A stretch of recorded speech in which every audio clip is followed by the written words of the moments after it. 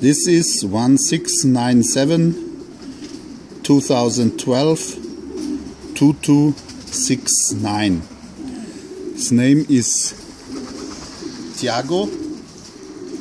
He's a two years old cock, bred from Golden Chipo times Sweet Life, presently our super couple at the loft.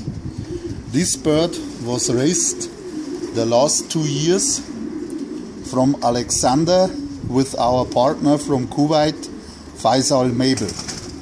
The bird won two times the first provincial.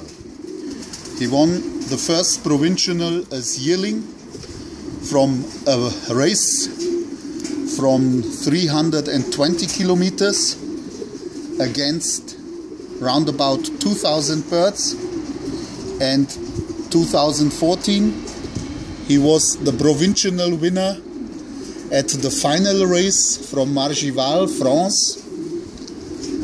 640 kilometers on a provincial base against 1200 birds.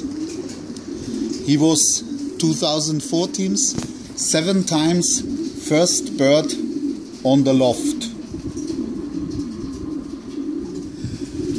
The only children which we gave away are with our partner Faisal Mabel in Kuwait.